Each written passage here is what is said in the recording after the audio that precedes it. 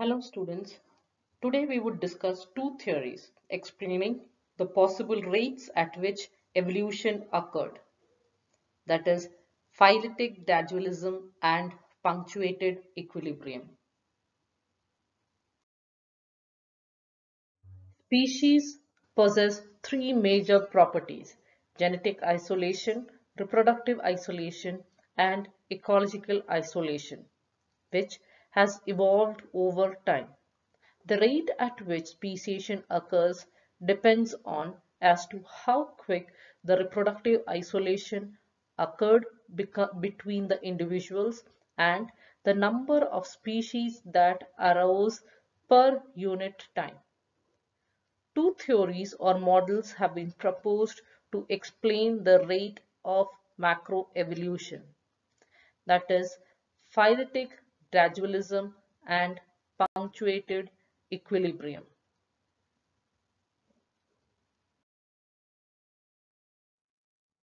Phyletic gradualism.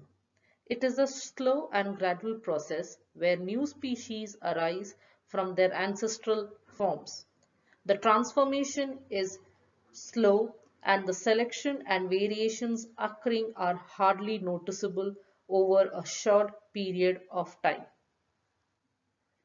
The figurative representation of gradualism is presented onto your right. As per the punctuated evolution theory proposed by Eldredge and Stephen Gould, the rate of speciation is not constant. The process occurs is in sudden spurts. There would be long periods where no change occurs and is known as the stasis period, depicted as horizontal lines in the figure. This is then followed by a sudden rapid change. We'll discuss in detail both of these methods in the following slides. Phyletic gradualism. According to this model, evolution is a slow, steady and gradual process. There are small variations that occur depending upon the environment. The less helpful traits die, but it happens over a very long period of time. As shown in the figure here, where the morphological changes that are occurring in the organism are so gradual and slow that it can hardly be distinguished for a short period of time.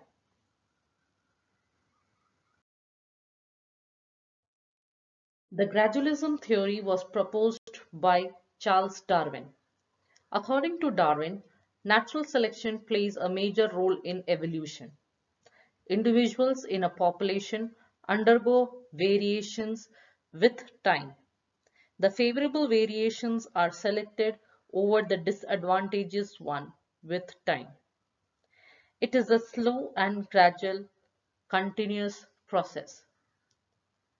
When this continues for a very long period of time, ancestral species may gradually change into new species.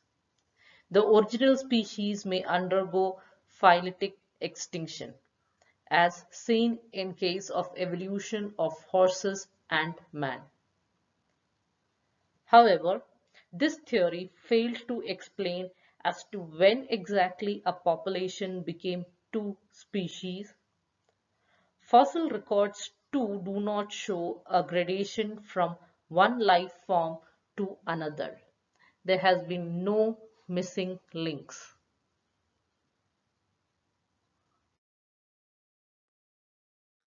The punctuated equilibrium theory. It was proposed by Eldredge and Gould in 1972. Eldredge was a curator at American Museum of Natural History and Stephen Gould was a paleoevolutionary biologist. According to them, speciation occurred rapidly in geological time. The rate of evolution was not constant. gaps were noticed in fossil records are because the speciation event happened rapidly for the fossil record to appear continuously. According to them, there had been long periods of time where no or little change occurred. With time, then a suddenly rapid change occurred which led to speciation.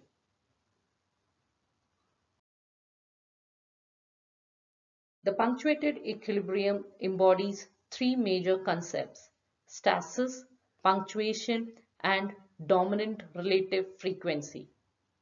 Stasis refers to a very long period of relatively unchanged form.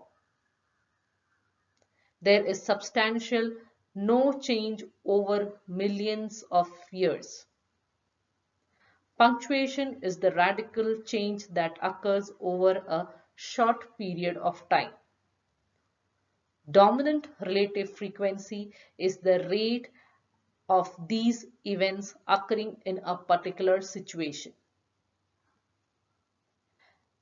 The event of speciation is normally confined to small peripheral populations that have become separated from the bulk of the species. As these isolated populations are very small and transient, fossil records are not found. How does the punctuated evolution model works? The first stage, the stasis stage. Here, a population of organism would experience stasis, living, dying and getting fossilized every few hundred thousand years. A very little observable evolutionary change happens during this period of time. Second, isolation. A small drop in a sea level would form lakes and isolates a peripheral small number of organisms in the population from the rest of the population. Next, due to genetic drift, a strong selection and a rapid change occurs in this small isolated population. Genetic drift influences their evolution. This is based on peripatric model of speciation. As only a small population had undergone a rapid change. No fossil representing transitional forms are preserved because of their relatively small size and rapid change in an isolated location. Next, when the sea level rises, the isolated population comes or reunites with the ancestral or sister lineage. In this combined population, expansion occurs. The larger population size and a stable environment makes evolutionary changes less likely. The formerly isolated population of the organism lineage may sometime outcompete the ancestral population, causing it to go for extinction. Next, preservation. The larger population size and a larger range move back to step 1 that is stasis with occasional fossil preservation. The periods of stasis can be explained by stabilizing selection and punctuation could be explained by bidirectional selection or disruptive selection. Example for punctuated equilibrium is well documented by Williamson for the variations or changes in snail shell pattern in Lake Turkana in Kenya. The geological time period for occurrence of new species or lineages correlated with the changes in water level, as shown in the figure on the right. As water level lowered, larger lakes got fragmented into groups of smaller lakes. The snail populations underwent genetic drift.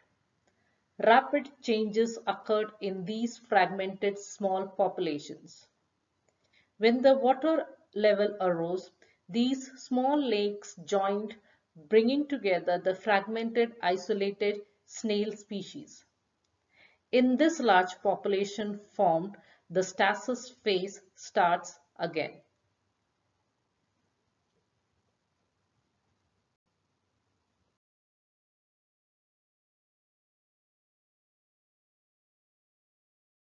The figure here highlights the comparisons between the two theories of speciation, gradual and punctuated.